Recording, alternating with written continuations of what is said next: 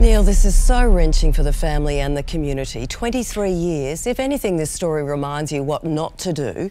But how are Eva and Kim coping these days? It's been incredibly difficult for Eva and for Kim. Eva has, as she said, has been grieving largely on her own. One of her friends said that around the time of the disappearance, the light went out of her eyes. It's been almost a quarter of a century. Uh, you can't imagine what she's gone through. And for Kim, uh, he was only a little boy when this happened, and he's, he's grown up with this and, and no resolution.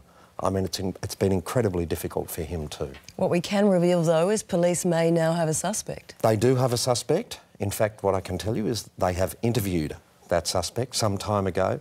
They have taken a DNA sample from that suspect. They have, they have put in an awful lot of work on this case. They have, as we said in that story, eliminated a number of people who were under suspicion originally no longer under suspicion. They have narrowed this down to a suspect and they are on the trail. But critically, we need details on a Datsun 180B.